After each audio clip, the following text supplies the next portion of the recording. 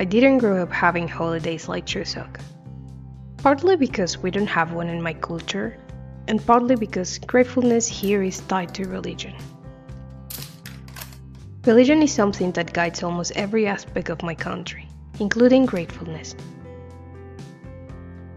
We grow up being told we need to thank a deity for everything good and ask for forgiveness for everything bad.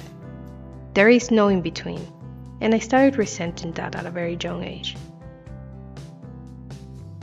This year, I've been exposed to a lot of cultural practices in school and in my personal life, like Haka, Native American weddings, and tons of memes about Aztec gods.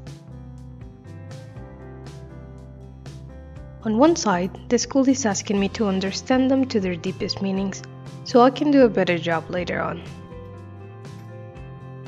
On the other side, as I watch them while scrolling TikTok at 2 am, I'm slowly starting to feel them.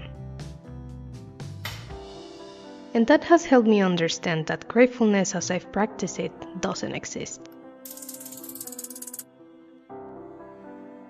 I thought I felt grateful in my life, but in a way more similar to love than gratefulness.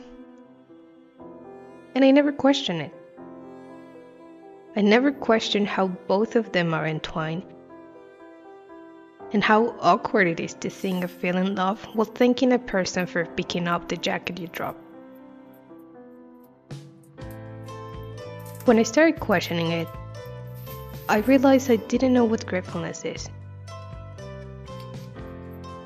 I've been thankful, sure, but I've been so wary about giving away my effort to a deity that I haven't allowed myself to feel grateful for real. I didn't know much about Chuseok before today, I always thought of it as a practice similar to Thanksgiving and stay away from it because I've wrongfully believed that culture cannot be fully experienced without religion. And deities and I weren't exactly in good terms. But now, as I slowly move away from my fears and open my eyes to new worlds, I thought I'd give Chuseok a try. Maybe by doing so, I can allow myself to start feeling grateful again.